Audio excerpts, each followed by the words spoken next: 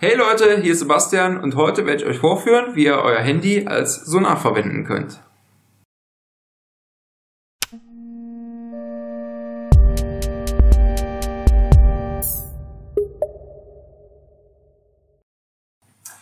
Bei dem Begriff Sonar denken die meisten von euch wahrscheinlich erstmal an Filme mit U-Booten. Und tatsächlich reden wir hier von derselben Sache, denn ein Sonar ist ein Gerät, welches ein bestimmtes Geräusch aussendet und sich die Echos von diesem Geräusch anhört.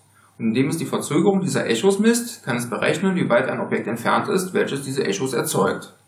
Euer Handy kann das gleiche und hier erkläre ich euch jetzt, wie das funktioniert. Für dieses Experiment braucht ihr ein Smartphone mit VFox. VFox ist kostenlos verfügbar für Android und iOS. Besucht einfach vfox.org und folgt dem Link zum jeweiligen App Store. Ihr braucht noch Dämpfungsmaterial, um eine Höhle zu bauen, die unerwünschte Echos abschirmt. Ich benutze hier etwas Verpackungsmaterial, aber die meisten weichen Materialien sollten funktionieren. Zum Beispiel könntet ihr Sofakissen benutzen. Und ihr braucht einen Reflektor. Irgendetwas Hartes und Flaches sollte funktionieren, wie dieses Tablett, das ich in der Küche gestohlen habe. Ein Zollstock wäre prima, um die Ergebnisse zu überprüfen.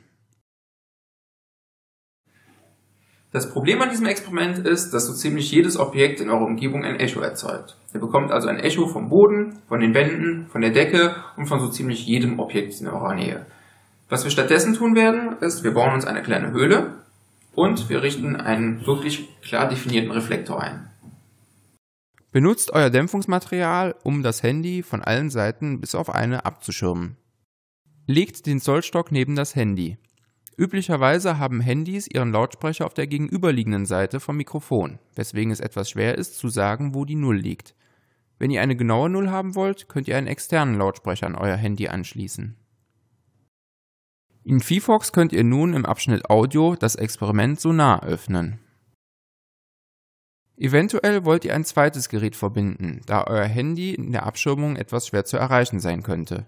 Besucht vfox.org, um herauszufinden, wie ihr den Fernzugriff einrichten könnt. Jetzt kann ich das Experiment starten und werde das Tablett benutzen, um Echos an verschiedenen Stellen zu erzeugen. Das Handy benutzt seinen Lautsprecher, um einen sogenannten Chirp auszusenden. Dies ist ein spezielles Geräusch, das VFox gut wiedererkennen kann. Es ist ein einfacher Ton, dessen Tonhöhe über 5 Millisekunden ansteigt, was so kurz ist, dass ihr es als Klick wahrnehmt. VFox wird 5 solcher Töne aussenden, sodass ihr 5 schnelle Klicks hört. Gleichzeitig nimmt VFox alles mit dem Mikrofon auf und vergleicht, was es hört, mit dem Chirp, den es gesendet hat. Das Ergebnis ist ein Graph, der angibt, wie sehr die Aufnahme dem Originalton zu verschiedenen Zeitpunkten ähnelt, was Mathematiker eine Kreuzkorrelation nennen. Der Graph zeigt, zu welchen Zeiten das aufgenommene Signal wie ein Echo klingt. Und nach einer Umrechnung mit Hilfe der Schallgeschwindigkeit zeigt VFox euch das nicht als Funktion der Zeit, sondern als Funktion der Entfernung an. Im Experiment seht ihr nun, dass die Position des Tabletts gut erkennbar ist, da es eine deutliche Spitze im Graphen erzeugt. Hier ist es bei 50 cm.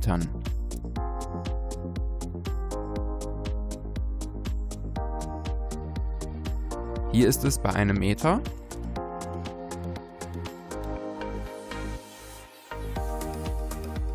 Und hier ist es bei zwei Metern.